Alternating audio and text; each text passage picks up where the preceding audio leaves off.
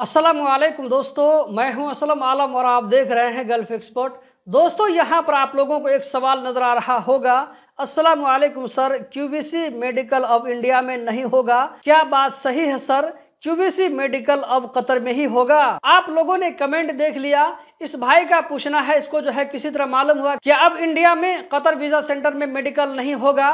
बल्कि कतर में मेडिकल होगा।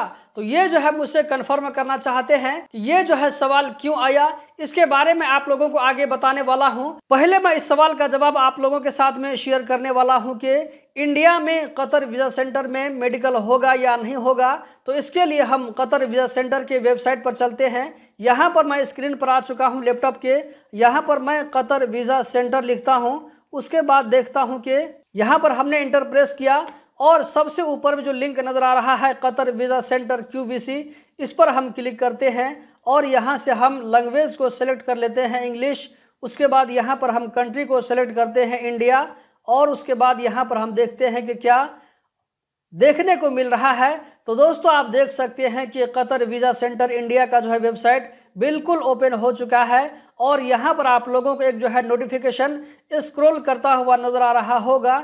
इसमें जो है कोई भी ऐसी बात नहीं लिखी है जिससे ये पता चलता हो कि कतर वीज़ा सेंटर, यानी कि इंडिया में जो है कतर वीज़ा सेंटर में मेडिकल नहीं होगा। तो इस भाई ने जो यहाँ पर जो कुछ पूछा है कि इंडिया में कतर वीज़ा सेंटर में मेडिकल होगा या नहीं होगा? ऐसा तो नहीं है कि इंडिया वालों का अब कतर में ही मेडिकल होगा। तो इस तरह का अगर आप लोगों ने भी कहीं पर अफवाह सुना है तो ये बिल्कुल झूठ है। इसमें कोई भी सच्चाई नहीं है, बल्कि इंडिया में जो कतर वीज़ा सेंटर है, वो अभी तक एक्टिव है। तो इसका मतलब ये हुआ कि वहाँ पर मेडिकल हो रहा है। अगरचे ये बात अलग है कि अभी इंडियन लोगों का बहुत कम वीज़ा निकल रहा है। अक्सर बेशतर लोगों का वीज़ा रिजेक्ट हो रहा है।